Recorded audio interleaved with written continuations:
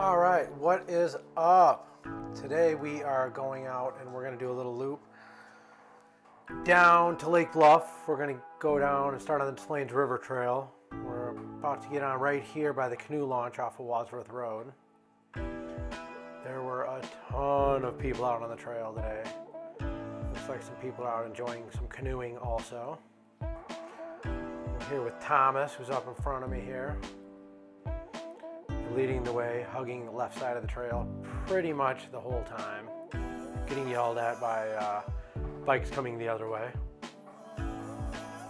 We're just going to kind of highlight a few of the little turns and different things you're going to see along the way. We got a lot of nice canopy here on the Des Plaines River Trail.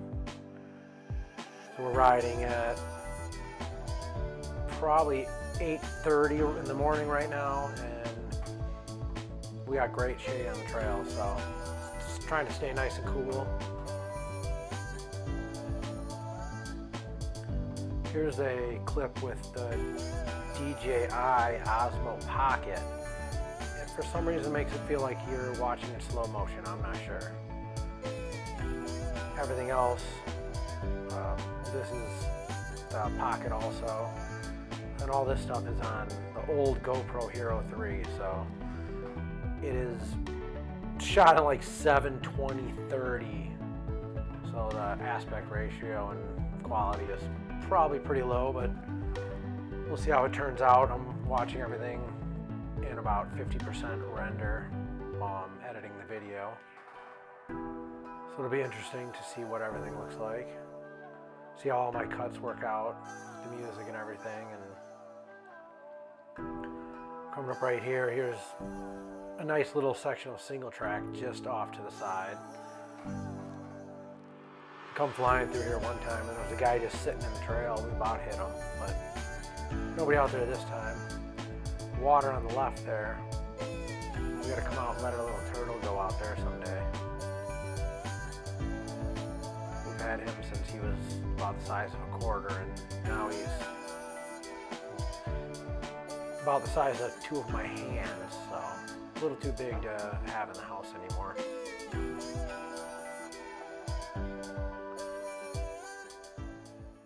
Alright, so we got a bunch of underpasses we go on. So water's really, really low right now. You can barely see it. Sometimes in the spring it's up. It's impassable. The water's up over the bridge. This is 176 we just went under. Trail next to 176 that we're going on. And this is going to take us right to downtown Lake Bluff path and a couple little cool bridges and stuff. And little tunnel here under Green Bay Road. We saw like two trains this day. Here we are coming up, making a little swoop to get to downtown Lake Bluff.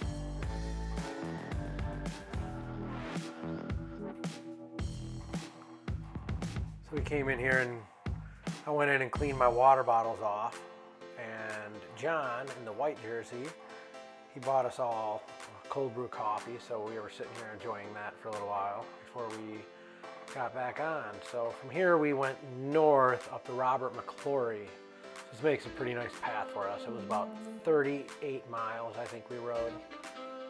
Um, there's a nice little park they put in here, which I kind of think is pretty awesome because it's kind of a shitty area trail improvements here. Well, it is a nice trail, a lot of stopping, a lot of intersections on the McClory going north. Here's some little gardens and stuff. People do like community gardens here. Uh, they weren't looking too hot this year. I've seen them looking a lot better other years.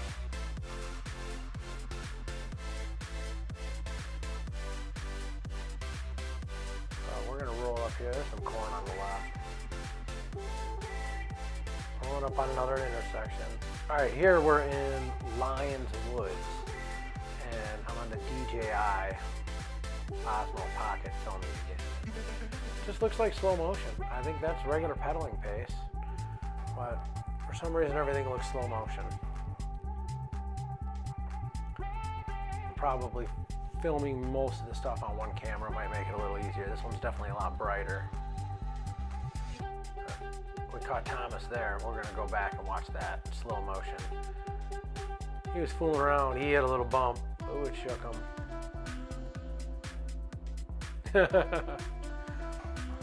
right, and they were doing a uh, century ride out of Evanston this day. We saw a ton of bikes out there.